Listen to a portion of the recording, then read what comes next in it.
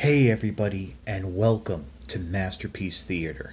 Today, we're taking a look at something we usually don't do. Um, I don't usually review the uh, repaints of figures, but this one um, was kind of cool, and it was a mold that I was really enjoyed. So today, we're taking a look at uh, the Masterpiece uh, Hot Rod. This is uh, what's the number? MP40. So he even got his own name. Um, basically, this figure is based on a animation error. Uh, well, that's what most people say, but it's the way Hot Rod looked in the Rebirth when he uh, became a Target Master. Um, it's, uh, it's other than that, it's a straight re. It's the same mold as the original Hot Rod. The only difference is it comes with the Firebolt Target Master that originally came with MP09. You'll hear me mention that quite a bit during the review. Um, but yeah, I mean, really, that's about it. I always do appreciate you guys uh, checking things out. So um, that's it for me. Uh, let's take a look at what's in the box. Okay, so what's in the box?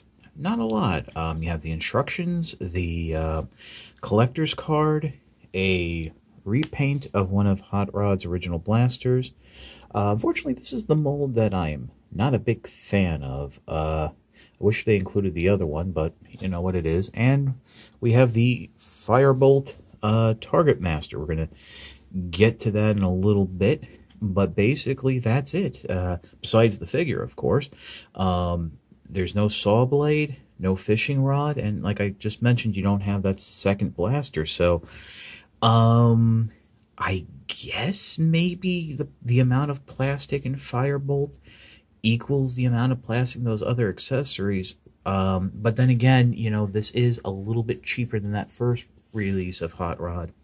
But we're going to pause real quick and take a look, closer look at the, the Target Master Firebolt. Okay, and this is Firebolt, uh, the Target Master. This is a re-release with, I think, a slight retool in the grip of the um, Target Master that came with the Hasbro release of MP09. If you remember, that figure just included uh, the main Hot Rod Rodimus Prime figure, the weapons, the extra accessories. They took out the trailer, which basically neutered um, any type of Rodimus Prime vehicle mode, but they included the Target Master. I don't know if there was that change in plastic, but fortunately, I don't have that version of the mold. Uh, I was just so sour on MP09. I didn't want to touch it. To be honest, I the only time I saw it in a store was when a couple of uh, shady-looking guys were basically picking up and buying every single one that my Toys R Us had on the shelf. Um, these unfortunately go for a lot of money on the secondary market, at least more money than I think they're worth. I think it's people trying to make back whatever they spent on that Hasbro version of a uh, Masterpiece Hot Rod. Um, but uh, so yeah, so it's a really cool looking figure, very close to the animation design. You have a swivel in the head, which I think is really cool. Uh, you do have ball joints here in the shoulders as well as a universal joint, so you do get a lot of movement. Double jointed elbows, which is always nice to see on a figure this size. Uh, ball jointed hips, ball jointed knees. A lot of that's for transformation, uh, which we should start with uh, right now. So make sure you return your figure to a neutral position. Um, go ahead flip the barrels down like so. You want to bring them 90 degrees to the body. Next, what you want to do is um, fold the upper torso down. It's on this ab joint right here, so you want to bring it forward just like that. Uh, next, what you want to do is rotate the knees inward, so these uh, ridged areas are facing together, uh, just like that. And then what you can go ahead and do, uh, the instructions are a little confusing, but basically what you want to do is just go ahead and bring the knees up like that. Um, and basically we're going, we're going to get to the real only locking position on the figure, and that's when you uh, swing the legs in, and they will peg into place. Uh, you, there is a little ridge that you want to get them over, and right there where my finger is, there is that little notch that these those little tabs you want to fit in. But that's about it in terms of uh, locking. Next, what you can go ahead and do is flip out uh, this section here, and that will rotate the head down. It will go between the legs. Um, and then we come in and work on the arms. So uh, bring them out straight to the side like that. Uh, I will tell you now, things will get a little loose and finicky. That's just uh, how it is. Next, what you want to do is rotate the arms up like so, so that you can see the armpit joint just right there, that little joint. Um, and then go ahead and bring them up. So uh, back like that around that peg. And then uh, go ahead and fold the arms up uh, on those uh, double joints. Make sure you got everything uh, there. And then uh, come around, straighten some things out, give it a little squeeze. And there you have uh, Firebolt in its weapons mode, very close to what the original uh, Hot Rod uh, Target Master was. I would have liked a few more locking points, maybe something to secure the arms in and secure this section a little bit more, but it is what it is. So you can, of course, attach Firebolt to uh, the Target Master Hot Rod figure. You want to open up the engine cover um, as you did before. Now the instructions show you opening up the legs and I really don't understand how that's supposed to help since the legs are here, but the peg is right there. So really what you want to do is just grab your uh, hot rod figure, support the, remember the engine is attached to the head underneath, so just support it there, and it should just peg in fine, just like that. Um, of course, Hot Rod can hold the figure in robot mode, uh, which we'll get to in a little bit. But right now, since I've already brought in uh, the Target Master Hot Rod, let's take a look at um, how it compares to the original version of the mold. Okay, so here they are. Um, obviously, we have the new Target Master Hot Rod on the right and the Hasbro version on the left. Um, as you've probably heard, the Target Master version is based on the color scheme that Hot Rod had in the Rebirth um, uh, miniseries that ended the G1 cartoon in the United States. Um, that is also why this gun is colored this way, surprisingly. I, you know, little details I don't remember. But uh, sort of in a way, it was supposed to be an animation error. That's what a lot of people say. Um, but as you can see, there are some striking differences. On the original Hot Rod here, um, you have a lighter orange color with a darker yellowish orange flame. On the new Target Master version, um, the orange is a little bit lighter. That flame is a little bit more of a brighter yellow. And as you can see, there's a different size to the um, Autobot symbols. Um, the engines here on the inside, um, they are still chrome. Um, the the Target Master version, that little spot where you pl plug the weapons in, that's more of a metallic purple, uh, like a very shiny chrome. Other than that, you see that you have that maroon, darker maroon color than the red. And then uh, for the fins, right there in the middle on the original Hot Rod, you have that uh, um, orange midsection, while here on the new uh, Target Master release, it's all yellow. But on the back, underneath the fins, that's completely bare. That does have a little bit of that um, darker orange, yellowish color from the front. So, um, yeah, the, the, the um, there is some striking differences between uh, the two vehicle modes. Now, let's take a look at robot mode. Um, I did go over the transformation when I reviewed the original Hot Rod figure, so we're going to skip over that. So it will be a couple seconds for you, will be actually quite a few minutes for me as I transform both versions of these figures. So we're going to go from this. Okay, so here's a Hot Rod in robot mode. Uh, just a few words on the transformation. I mean, as you saw in my previous video, it's actually not that difficult. Um, you know, if you, there were things you liked, they're still there. If there are things you didn't like, they're still there as well. I just noticed that these collar pieces here uh, don't peg in as well as they did on the original. Um, that could just because of the repaint, the different positioning of the paint, and it shouldn't be indicative of all the runs of this, and it's just mine. Maybe as I play with it more, things will loosen up.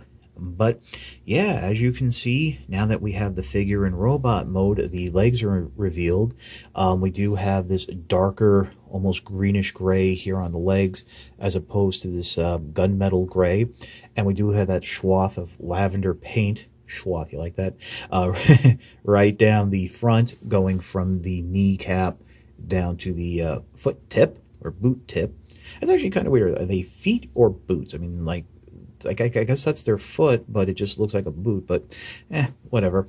And of course, on the crotch piece here, you do have a little bit of white um, detailing that's not present on the original version of Hot Rod, um, and also the leg pieces are uh, on the Target Master version. They're a lighter shade of yellowish orange, where on Hot Rod they're a little bit darker, more of a like that uh, like when you light a match that orangey flame color. Um, other than that, the forearm bits here, uh, it's again the same different shades that match up on the chest. Um, one thing I've noticed is that the intakes on the shoulders. As you can see on the original version of Hot Rod, they are that um, sort of like a very almost lavenderish gray on here. They're not painted at all. And if we turn the figures around, um, really there's no difference whatsoever. I mean, this is still parts from the vehicle that we saw. Um, but you can see there on the Target Master version, of Hot Rod, and when it comes to the head, that there is a little bit of a uh, more metallic lavender paint, not the same that's on the boots, that's not there on the original Hot Rod. And in terms of detailing to the face, yes, you can see that uh, there is that lavender going across the front. That's not there on the original version of Hot Rod. And all of that. So, yeah, basically that's about it for the colors of the figures. Uh, so we'll take a final look at the new Target Master Hot Rod, since really that's what this review is all about. And uh, then I'll give you my final thoughts. Okay, just a few more notes about the figure. Number one, obviously all the gimmicks still work. He still has the uh, flip-down goggles, but in this case they're clear. Um, now, getting the target master into the hand, I do want to point out that as you can see, to have it sit properly, you're going to angle the fist a little, and it does want to lean forward due to a um, the ridge there from uh, the peg that connects, but it does hold it fairly straight. I know that was a concern. There was a lot of concerns uh, about using this. Uh, some people initially tried using that original version of Firebolt that came with the Hasbro MP09 and said it didn't fit right. So whatever adjustments Takara made uh, do work a little bit better. So we'll pause now and I'll give you my final thoughts. Okay, and in a nutshell, that was Masterpiece 40 Target Master Hot Rod. Um, I got the figure from Amazon Japan. Um, I was very lucky to be able to do that as um, you know, um, they did open up international uh, shipping again on Transformers, and it ends up being a lot cheaper and a lot faster than getting it from places like a Big Bad Toy Store.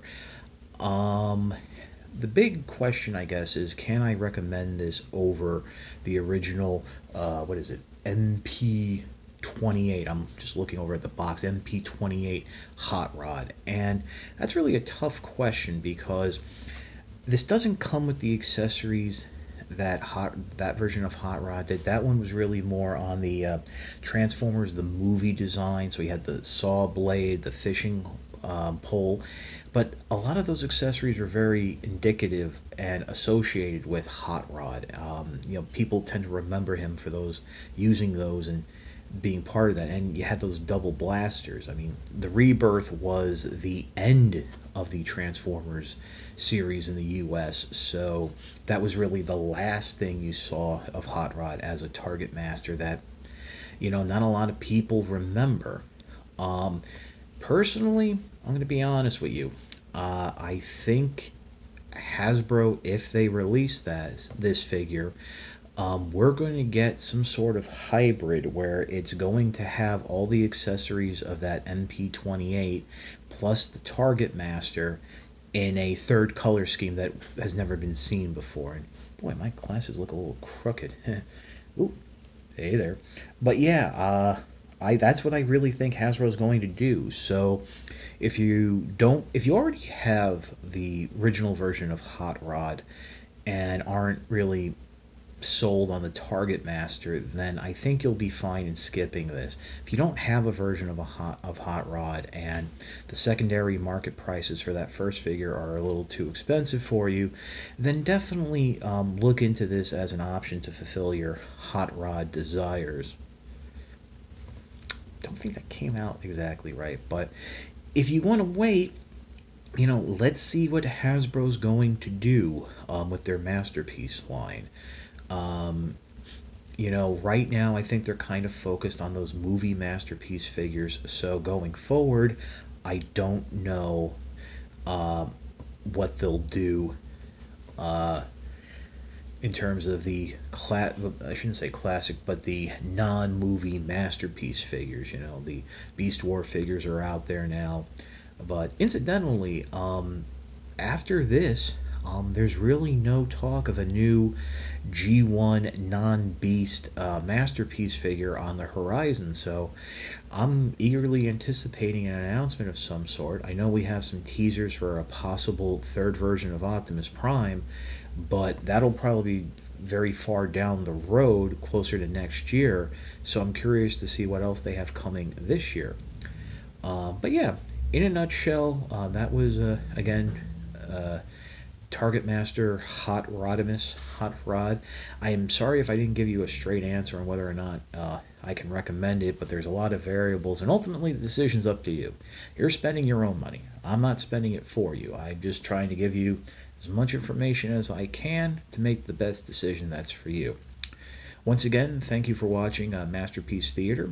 Um, somewhere over here, maybe, yeah, I think that'll be it. Uh, you should see a card that will link you to my original Hot Rod review if you'd like some uh, more information on the transformation. Um, other than that, thanks for watching. And I know there's been quite a few of uh, the Masterpiece Theaters in a row, but I think we'll be taking a little break for now. But my regular reviews will be continuing. Thanks for watching, and I'll see you next time.